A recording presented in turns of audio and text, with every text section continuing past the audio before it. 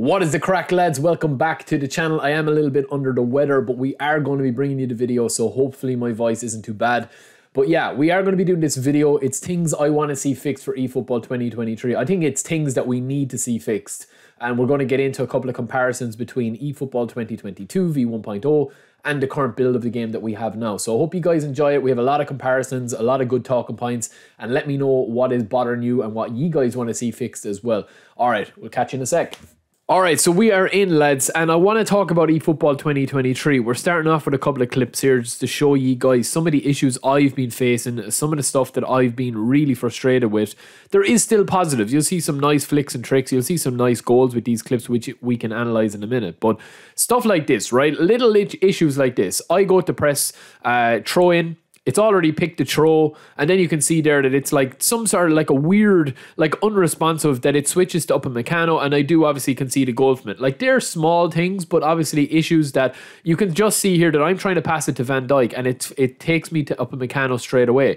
But from the kickoff here again, you'll see this is kind of even more frustrating for me is that I just feel like the wing play, the dribbling, the kind of like being a better attacker um, than your opponent, being a good defender is kind of completely nullified by the AI. It's not nullified by playing better skilled players. It's not nullified by playing, you know, guys that are Division One. Um, you'll see here that I absolutely rinse him defensively with Dembele, and look at the gap I have built up here, right? But watch the angle of the position that the AI takes up right here, and it's just then it's WWE Stone Cold Steve Austin. But look at where Davies is there. If I take a touch around Upamecano Davies is actually going to come back and recover. Now, while I like to see this with like the top, top, top players, it doesn't really matter what their stats are in terms of the defensive OPness at the moment. And when I say overpowered defenders, it means that like the players, they don't really like they defend for you, man. They defend for you. Now, we're going to take a comparison here of just how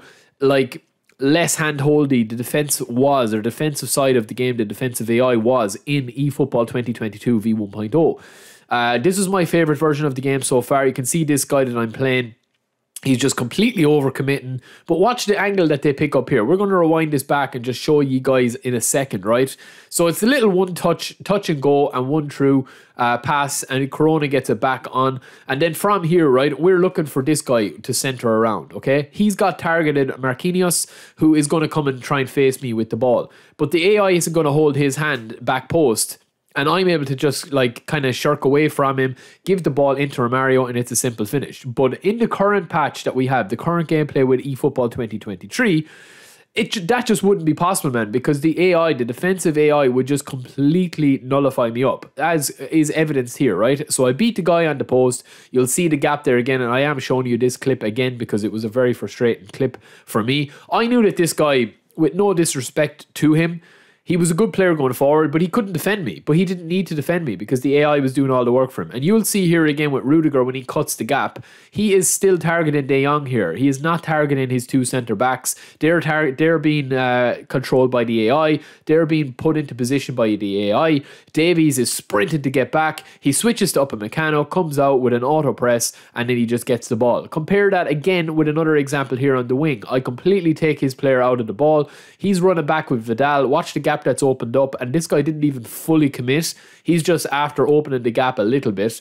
I've got the ball with Corona on the wing. Similar position to Dembele, except I'm kind of running in. I pass the ball in here to Pedri. Little double touch to get my sprint to open my body up, and then it's a bang in the back of the net. So I think with all these gameplay, you were able to do tricks in the box. You were able to have that responsiveness. Compare that with this current gameplay. Yeah, you can still do tricks, but the AI is just so tuned in to blocking the passing lanes, blocking where you want to put it. And even here, like, right, he gets a brilliant counter attack here. Look at the gap I cover with Van Dijk. He beats me with a trick move, and then the AI just gets back and wins the ball back for me. Do you know what I mean? I wasn't even paying attention to Makelele coming back there. Now, I know you'll say Makelele is a legend. He should be able to win the ball back back. But similarly up here, you know, it's he's got it's a four on two. When I pass the ball in here, the chance is kind of gone. So there's a lot of frustrating things with it in terms of the flow of the game. Again, we're talking about eFootball 23 here. I get the ball out here, here with Dembele. I'm trying to beat this guy. The AI just comes back and takes it. He gives the ball back to me. I cut back in here. Rodrigo beat him with a little trick move. The AI comes across. He switches to Van Dijk and just absolutely butcher bays me. And that should have been a penalty. But even ignoring that that that should have been a penalty, how frustrating is it that like Van Dijk is covering that gap for him? Right? He is he's got Alaba targeted here. I make mincemeat of Alaba, right? I absolutely make mincemeat of Alaba with a nice little trick, a nice little deft touch. Watch Van Dijk. It's the AI. The AI is covering this gap. It's plugging the gap for him. Look, Still, still, still. And then he gets possession of it and he gets user control, which is simply the AI has already initiated that tackle. Compare that to eFootball 22. Look at the intricate passes. Look at the AI not holding his hand. You'll see here out on the wing. These aren't superstar players that I'm playing with. You know, Muniain, we've got a tired Ronaldinho and a tired Corona. He gets the ball. It's just able to be spread out wide. You're able to kind of take your time on the ball. Intricate passes. The AI was in tune with where it was going to go but it wasn't hand holding. Now, eFootball 22 had a lot of issues as well in terms of the responsiveness and in terms of clearing the ball, and there was issues. It wasn't perfect. I'm not going to say that it was the best game ever, but I just feel like there was a lot of flow that you could do to it. You could attack out wide, you could attack in central, you could blend both of them together. You could shoot from distance. There was stupid stuff and stupid misses like this. You're always going to get that in gameplay, and you're always going to get that in actual, um, you know, sports games. But I think a big part of it, and you know what has changed, can be actually visually represented by the formations that people are playing. So this formation you guys are seeing here at the moment is a formation that got me to Division One, right? So I'm playing uh, various different formations now. Whereas in an upcoming video that I'm going to be doing, talking about meta formations and the formations that work, these are the formations that you kind of have to have to use. And you'll notice a trend if you are a newcomer to the game. You will notice a trend of players that are playing very centrally you know, because the wing play doesn't really get rewarded.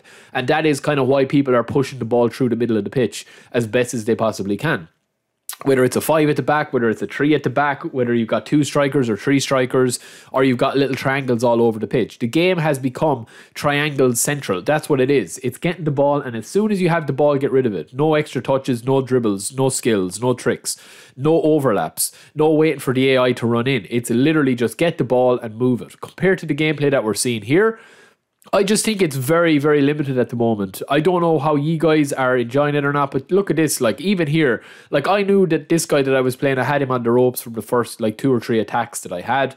And I was just able to kind of, like, you know, break him down in so many different ways. Like, I was able to do it through the central areas of the pitch. I was able to do it on overlaps, through the wings. I was able to take long range shots. I was able to take, you know, deft touch shots. I was able to do triangles. I was able to spread it out wide. This is all from the same game you know, look at the responsiveness, look at the movement, look at the dribbling, open up the body, bang, goal. And that was kind of it, you know. So I just feel that, like with eFootball 2023, even when you absolutely rinse somebody, like I'm seeing here with Dembele, I take four players out, rinse two or three of them, come back inside, and yes, I do get a penalty out of it. But you know, more often than not, you don't get rewarded for that, as you'll see here with a couple of clips from Anthony. Absolutely ripping again, come inside, rip again. Ball comes in here, it's intercepted by the AI, it switches to him to the last minute. I win the ball back. Look at this, it's very clunky, very messy, and eventually the ball gets in the back of the net. But there doesn't seem to be the same reward or the same enjoyment out of it that kind of gets you out of your seat. You can see there by my even my reaction. Like, I personally look, lads. I know that FIFA is out and stuff, and I know that that is going to be popular at the moment. But I genuinely do think that there is still hope for eFootball 2023. I have high hopes for the next and for the future and for the next couple of patches, but they need to get back to the basics, man. They need to get back to the skill gap of I understand that they don't want newcomers playing the game, and I understand that they don't want, you know, people downloading the game to give it a try and losing 10 0.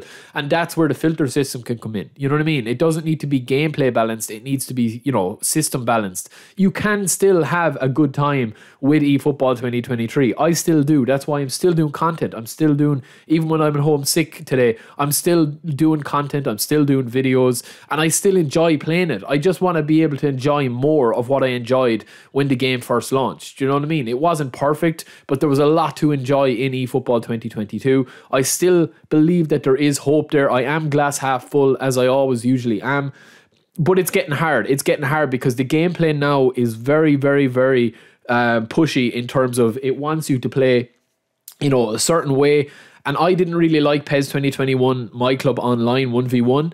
I did play a lot of co-op, but I just feel like that this current gameplay is reminding me of the reasons why I didn't really play too much of PES 2021's My Club. You know, because it's it's pushing you in a way to fill your team with strong central players that don't need any time on the ball, that literally just pass, pass, pass, pass, pass, pass, pass, pass, pass, triangle, triangle, triangle, triangle, triangle. And me personally, I like to dribble. I like to get it on the wing. I like to do different play styles. That's not going to work all the time. I'm not going to win all my games. I'm not going to be a top 100 player or be an absolute beast but I don't need to be. My enjoyment comes out of playing a game because that's what it's meant to be an enjoyable experience when you're playing a game, the same as watching a movie, you know. And I just feel that there is still hope there. I still have good experiences with the game when it plays well. I just think they need to tone down the defensive AI. They need to tone down the aggressiveness. They need to punish players that are just completely no skill based defending at all. They're literally just jamming buttons. And I just feel like that would change things rapidly with the way that the game is. So that is it for me, lads. A bit of a lengthy video, but let me know. I want clips from you guys. I want your talking points. I want comments. I want you to get involved. Let me know what you think. Do you agree or disagree with me? Are you still playing it? Are you not playing it? Yeah, that's it. All right, lads. Peace.